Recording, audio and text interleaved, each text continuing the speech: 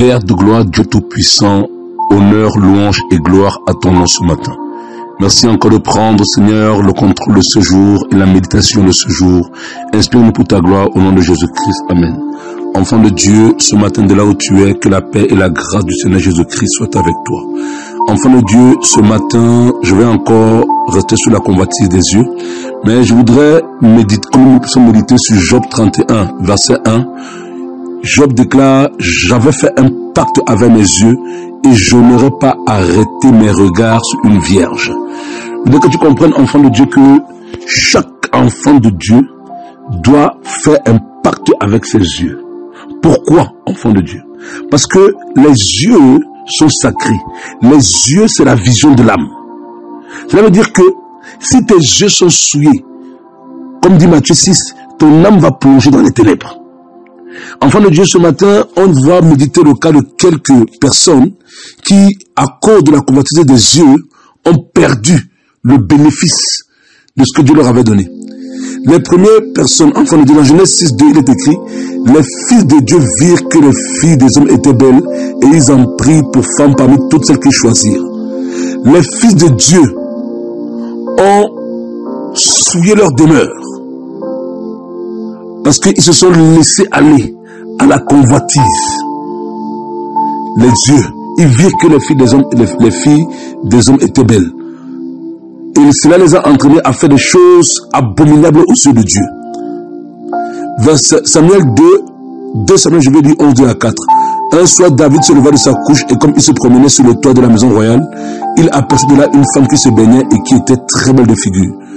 Voilà le roi David qui, à cause de la convoitise des yeux, va commettre l'irréparable. La convoitise des yeux est destructrice. Le roi David a été amorcé par cette convoitise, au point que cela l'a poussé à prendre la femme de son prochain, et cela l'a encore amené plus loin à tuer son prochain. Mais tout cela part de la convoitise des yeux, parce qu'il a laissé son regard traîner là où il ne fallait pas. Dans le psaume 119, 37, il est écrit, détourne mes yeux de la vue des choses vaines. Fais-moi vivre dans ta voie. Parce que si tes yeux ne sont pas détournés de la vie des choses vaines, la vanité va détruire ton appel. La vanité va détruire tes grâces, va détruire ta bénédiction. Il y a un exemple dans le livre des juges. C'est l'exemple de Samson.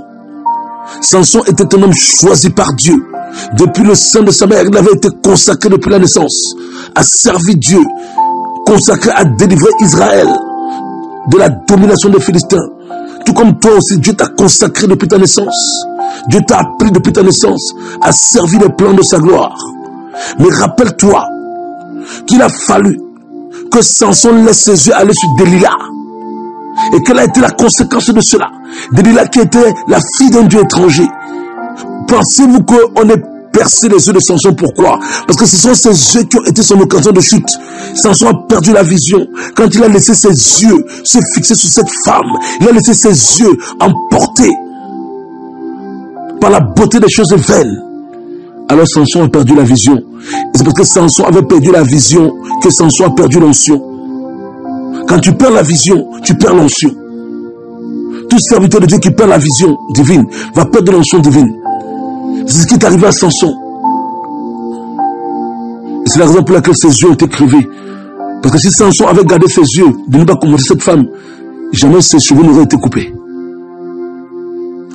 Je voudrais que tu comprennes ce matin que les yeux c'est sacré. Les yeux c'est sacré. Dans le livre de Proverbe 6, 25, il dit Ne la convoque pas dans ton cœur pour sa beauté et ne te laisse pas séduire par ses paupières. Veux que tu comprennes que la convoitise des yeux, ça ne parle pas d'abord de tes yeux physiques, hein. ça parle des yeux de ton cœur. Attention. Ça veut dire quoi? Ça veut dire que si tu apprends à garder ton cœur, il faudrait vraiment laisser l'Esprit de Dieu dominer ton cœur afin que tes yeux physiques ne se dirigent pas n'importe où. Et même s'il arrive que tes yeux physiques tombent accidentellement là où il ne faut pas, ramène ton cœur rapidement. N'attarde pas tes regards là-bas. Il peut arriver. Mais sache que c'est quand ton cœur est amorcé que tu pêches. Tu peux tomber accidentellement sur quelque chose qu'il ne faut pas. Mais tant que ton cœur est gardé, tu n'atteindras pas tes yeux physiques là-bas.